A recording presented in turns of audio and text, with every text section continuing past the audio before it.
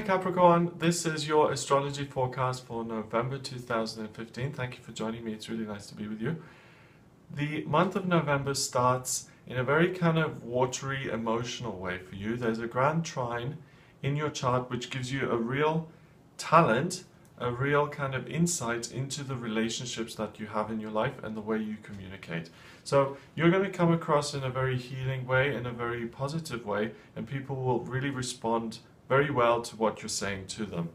That increases on the 2nd of November because what happens is that Mercury goes into the watery sign of Scorpio in your 11th house. The 11th house represents your friendships and your connections with other people. So the month is really all about your connections with people, the way you share your ideas, you share your feelings towards them, and it really has a positive impact. So you're in a great place to be able to nurture people and to make new friendships and to make friendships better. On the 3rd of November, um, the Sun starts to trine Neptune, and it does that until the 6th of November. Now, Neptune is the planet of the dream, of the unmanifest, of the other side, of the veil, of the intuition. And whenever the Sun, so your identity, Capricorn, comes into contact with Neptune, it increases your intuition and it increases the amount of messages that you're getting. So pretty much the whole first of the month is all about you getting intuitive messages, being really, feeling really connected and being able to apply that to your relationships because you can communicate that so well. So it comes across very, very easily and very nicely. On the 4th of November, the moon starts to trine Uranus. Uranus is in your fourth house in Aries, um, and that's pushing you to take action in your family life, to uh, create some chaos or to have something unexpected happen there. The moon is in um, Leo in your eighth house, so they connect, and there's there's a there's a kind of tendency for you to want to either show off in your family life or to do something to impress people, which is showing off, um, or to take charge or to be the leader here in your relationship life. Um, and that kind of comes from a place of ego. So that's not particularly helpful. Rather than try and impress people, people in your family love you anyway, they're your family. So rather than waste your energy doing that, I would suggest using your intuitive abilities to kind of nurture people and help them and to say things which are actually can be of service. Okay, so I think the beginning of the month is about getting your head in the right place a little bit and focusing on the good stuff. On the 5th of November, Jupiter starts to square, uh, it starts to trine Pluto, which is in your first house in Capricorn. Okay, so first of all, Pluto is the planet of death and rebirth. and Okay, it's about regeneration. Your rising sign is also in Capricorn there in your first house. So you're going to be feeling, Capricorn, like there's a new you being born at this time of the year. So I really think that um, you can see the potential of your future self. And you think you're going to realize that and reach that potential by educating yourself and by taking practical action to broaden your horizons. So that could mean that you, you are really, really into signing up for a course, a college degree, going on a pilgrimage or going on a gap year or you know going traveling in the world it can be it can be education and expansion on a physical level which is travel or on an intellectual level which is study. Um, and it can even be on a spiritual level by you know going to the ashram in India for a couple of months and meditating stuff like that. But that's really what I think is going to feel very strong for you around the 5th and the actual trine between Pluto and Jupiter, that's been in place from the 8th of September and it will continue until the 20th of November. So the, it's almost like, you know, the, the caterpillar coming out of its cocoon and becoming this butterfly. And there's a feeling of something good happening in your life. And there's a feeling of coming out. Could be that you come out, but it could be that you really put your finger on what your real identity is as well. Now, on the 7th of November, there's a Yod, and a Yod is also known as the finger of God. And that is between your Jupiter and your Sun, and it culminates in your um, Uranus in your fourth house. Okay, so again, there's a desire for you to really be the best version of yourself that you can be, and to take control of your hopes and dreams and what you're going to achieve with those. And really, for some reason, it all channels into your family again. You want to make your family I think you want to either set the tone for your family or you want to be a leader. So whether you know you've decided that your family you've got you've got a husband and two kids and you've decided you're not going to go to fast food restaurants anymore and you're all going to become vegan and you're driven and determined to do that. Now, usually that's a recipe for disaster because when you try and change other people, usually you come against a lot of resistance. But this is a yod. So it has a karmic influence. And remember, this whole month I've already said that you have the ability to really heal people through your communication, especially your family. So it may be that you're getting the intuitive message to help your family in some sense, whether it's to stop eating fast food or whether to start going to some sort of spiritual community or whether you're all going to take a holiday together or something like that where you change the dynamic of the family to make it more positive it's actually very good because a yod means that you're getting the divine guidance to do that, and the people in your family will benefit if you take those steps. On the 8th of November, this desire to work with family is going to come against some friction with your working life. It's going to um, it's going to either be that um, you don't have the time to kind of work on family issues because you have to work and you're really interested in what you're doing work-wise. But really what I think is that you feel quite comfortable working it on your family. It's a tricky one because on one hand you feel this emerging of a new self coming through and you feel inspired and you feel very hopeful. But that doesn't mean that other people feel the same way, you know? And there's nothing more annoying than someone who's just gone through some sort of spiritual awakening and who comes home and says, right, everyone, we're all gonna, you know, pray for 10 hours a day. You know, it's really irritating. So just kind of use your common sense there.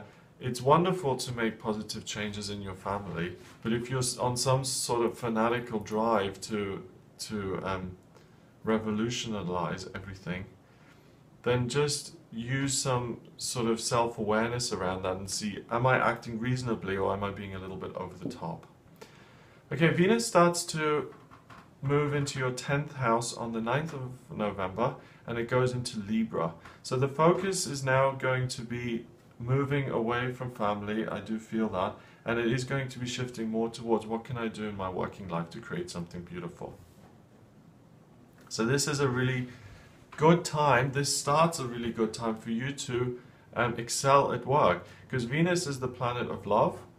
When that is in your working sector, it means that one, you love what it is you do, but you also have the ability to beautify things and to make them better and to, again, heal in some way. So that's the big theme I'm getting for you, Capricorn, that when you apply yourself to situations, whether it's family relationships or work, you can really create something of quality that will be very helpful to others.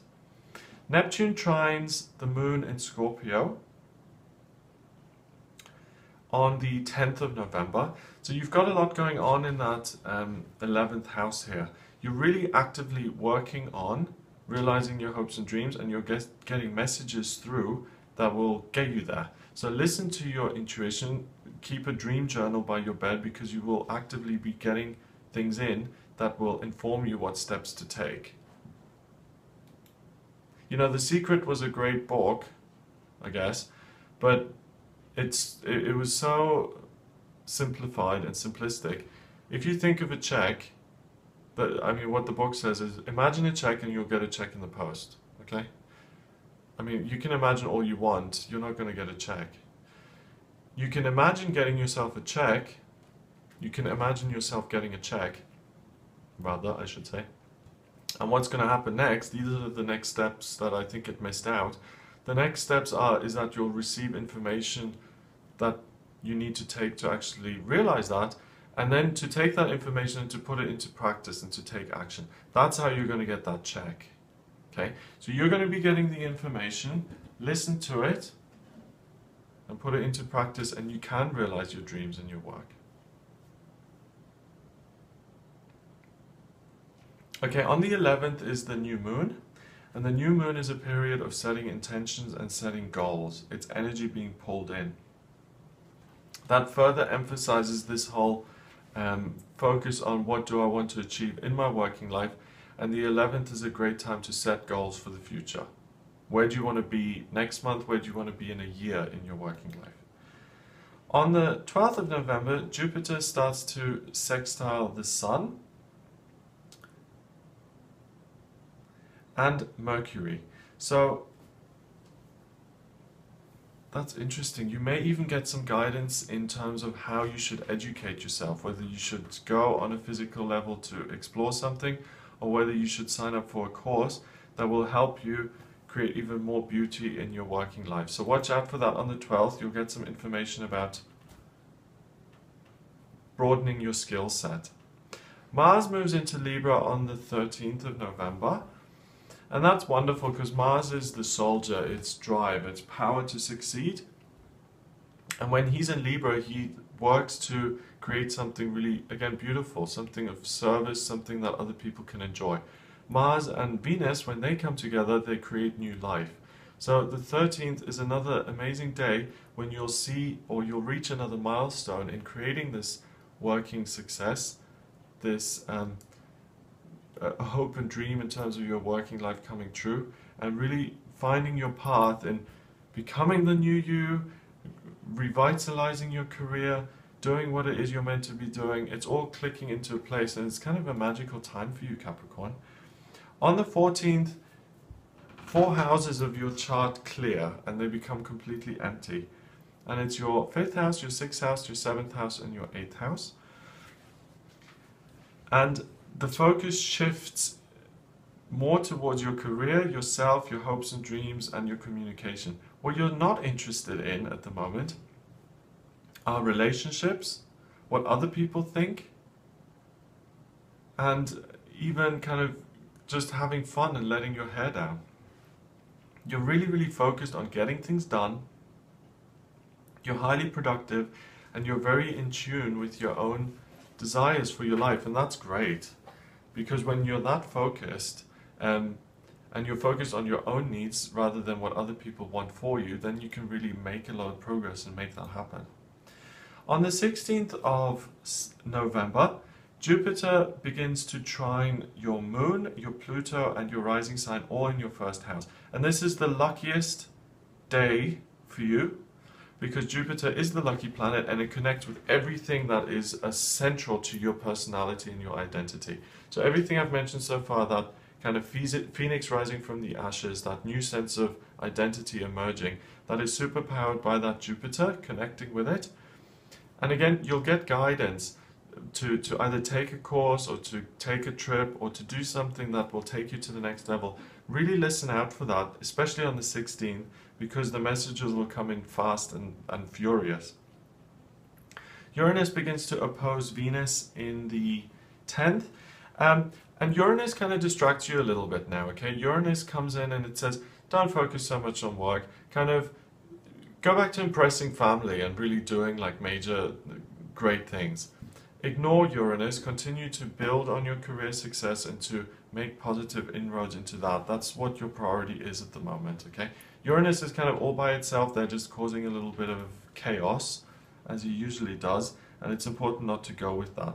That opposition is there from the 17th of November until the 28th. So the latter half of the month, it's really important for you to keep the focus going and to keep saying, I really want to achieve my hopes and dreams, and I'm not going to waste my time kind of, you know, splashing out for no reason because my family love me. So he kind of creates a little bit of insecurity there. On the 19th, the moon in your second house starts to square a lot of your energy that's going on in the 11th and 12th. And you're going to start to reevaluate some of the things that you've been focusing on and have wanted to achieve and the direction you're going in. And I really think that the focus is going to be very practical on the 19th. So, for instance, if you've been focusing on, um, you know, I'm gonna, I'm gonna be this big success, and I'm gonna, I'm gonna start my own charity. Okay, and that's how I think I'm gonna help other people. And that's what you've been working on. On the 19th, you'll get some information or you'll get some clarity and some insight which says, okay, you're running a charity, but how is this going to be financially viable? And the biggest lesson that comes in, that's kind of a ding eureka mo moment for you on the 19th, is a practical kind of piece of information which has a financial impact on what you're trying to achieve. If you see what I mean. So you can certainly help people, but this is going to make it more within your reach because you're going to look at the finances and understand that you have to put certain things in place if you want it to work. The 21st sees Mercury going into Sagittarius, and that's all in your 12th house. You've got Saturn in Sagittarius in your 12th, you've got your midheaven in Sagittarius in your 12th, and you've got Mercury in Sagittarius in your 12th. I really think that you're kind of driven to have this, to create something in your life that is really meaningful for other people. And I think you're divinely guided, and I think you're doing something that is going to be of service, and you're going to fulfill that through your work. And now you're going to be communicating that and hearing that very clearly. It's good that you had that reality check on the 19th, because that sort of purpose is very noble but it can crash and burn if there's no groundedness to it. You know? So the guidance that comes in, that's wonderful and that you're looking at helping other people, but you still need to have both feet firmly planted on the ground that you can actually get these things done. And there's very little earth in the chart around this time of the month. So you have to focus and literally tick, you know, cross the T's and dot the I's because if you want this to take off, whatever dream you're working on, you have to consider the practical implications, otherwise it won't work. Pluto begins to square Venus on the 22nd of November, and that's again great. I think the, the learning that you've done is going to renew your sense of passion and love for what it is you're trying to achieve in your working life, and it will give it another push, another boost into making it a reality. Really good. 23rd sees the moon connecting with your north node there, and the north node is at the noon position in your chart. So again, for you Capricorn, you're going to feel at this time of the month that you're you're totally doing what you're meant to be doing with your life. And you're going to feel super lucky and supported in the practical actions that you're taking. You're going to feel like you're going on the right path. And you're going to feel inspired that you're moving in the right direction. I, I feel and I see great enthusiasm, great passion, and great life purpose for you on this day. And this isn't, I know I'm breaking this down into day to day, but the, the journey through this month is all about you having a, a long term vision and a goal. And certain days are better than others, but the 23rd, you're going to be completely inspired with what you're trying to achieve. The 25th is the full moon, and the full moon is in Taurus in your fifth house of romance and relationship. Okay, so that full moon, uh, the full moon is always a culmination, a coming to fruition. And the new moon on the 11th was in Scorpio, and this full moon is in Taurus. Both of those signs are about control. Scorpio likes to control emotionally. Taurus likes to control physical things, money, belongings. And the fact that this full moon is in your relationship sector in Taurus, kind of brings that thing under the microscope again that there's a there's a desire to kind of display your wealth and to display your goods um, and to show off a little bit. And no one's impressed by that especially this month okay? So you might feel that this grates a little bit on you but the way to again to to use your energy wisely is not to well, I mean, if you want to have a party, if you want to throw a party and to show everyone what a wonderful house you live in and how fabulous your life is, then go for it. You've worked hard this month, fine. But it's not going to benefit you in any way apart from saying, yes, I'm the best. The way to benefit it is to continue to work and to continue to educate yourself and continue to take the action so that your future looks even better. But you know, I need to lighten up here with what I'm telling you because life isn't all work, is it? And if you want to have a break in between that and just have a day off to yourself and just have fun and show everyone how well you're doing, then yeah, go for it. Why not? yeah, enjoy the full moon to have a, have a little party or something. The 27th sees the North Node and connect with Jupiter. Yes, those two are moving closer and closer in your uh, ninth house up there of growth and taking actions to expand. And it squares your moon, and that moon is right underneath your descendant in Gemini. So communication on the 27th comes in via your everyday life, your routine, which gives you another way forward. Um, another piece of information comes in that gives you the next step, the next direction for how to improve your business in terms of how to live your life purpose and how to achieve what it is you want to achieve on planet Earth. Uranus opposes Mars on the 28th of November and stays in opposition with it until the 20th of December. The fight now is not only between Venus and Uranus, which is trying to pull you away from your work. Mars joins the fight against Uranus, and really, I think Mars and Venus start to win against Uranus now, and they start to say, You really have a lot of good that you can be creating in your working life. Don't get distracted with frivolous kind of things. Keep doing what it is you're meant to be doing. Um, and you have a real gift and a purpose, and that's going to encourage you, I think. So keep keep the focus clear around the end of the month. And then finally, on the 30th of November, the moon connects with all of your Sagittarius energy in the 12th house. This will be nice because, um, again, that kind of helping other people, that sense of spirituality, that vision of your future, that vision of a greater purpose for your life, that really comes into focus again. And it's, it, it gives you another boost, another bit, bit of encouragement um, and I think in a genuine way, you'll start to notice and to see that if you do this in a long term way, you'll get the kind of social acclaim and recognition that you desire, and you don't need to kind of show off once in a while to get people to approve of you. The people who are going to love you in your life are going to love you whether you don't have a job and you're on benefits or whether you're, you know, the president of some company. It doesn't matter to them. And when you try and impress people, the, the ones who don't really care about you find they'll be impressed and they'll want to be nearer to you. But the people you have a genuine thing going on with, it's irrelevant to them, okay? So it's great that you're trying to help and that you're trying to do something and, and that you're trying to become this new person. That's wonderful. But remember that it doesn't, it doesn't, um, it doesn't alter who you are in any way or your relationships. You're going to be you when you're 20 and a student, and you're still going to be you when you're 40 and a big shot. Same thing.